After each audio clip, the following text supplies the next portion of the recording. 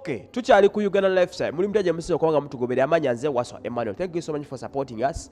N'okuba nga mutukkiririzaamu nti eh, ah, uganda lifestyle ffe tukulembedde oba si ffe tukulembedde naye mwebale kutukkiririzaamu nti tusobola okuba nga tubaweereza ebintu ebirungi. Okay king michael ah, abamu gwe manyi nga mike mugwanya ono ebifaani bye mulabako ebyo ng'akutte pulezidenti w'eggwanga mu ngalo ng'azinywezeza bambi yaweereddwa omukisa awuze ku mukulembeze n'agamba omukulembeze munnange kati kenkufunye kankubula ennaku yonna ennuma. N'amukwata omukono n'agunyweza omukulembeze akanyiza kwesika mu mikono gya king michael naye nga king michael tamuta.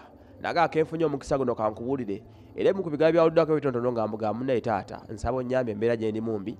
Amabanja gansusseeko ah, concert abantu tebajja bantu tebajja.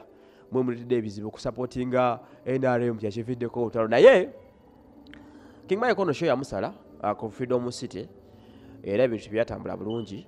Abamu bagereesa mbu bino kuno okugereesa kubanga kathalin yafunye abantu. Then tekirowooza nti kituufu. Kugereesa bugereesa mbu okuwagira nrm kyekyamulemesa okufuna abantu kyesirowooza nti kituufu asaki bebekulu ngaabafuna Ah, ah, gundi ngaabafuna gundi ngaabafunye kusaasira ze ndowooza ekyalemesa king mike okufuna abantu eno ndowooza yange. Teyalinawo kapya. Ebyaddala. Tewaliwo kayimba nnyo kali awo Eh, tewaliwo kipya abatamanyi king mike bantu bakulu okitegeera.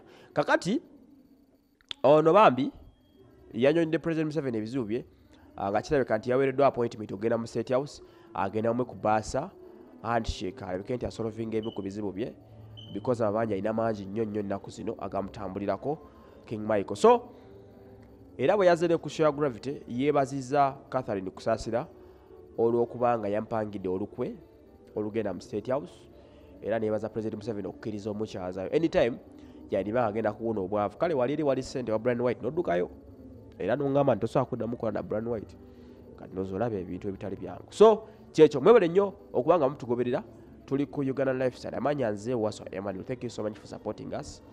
Eh, thank you so much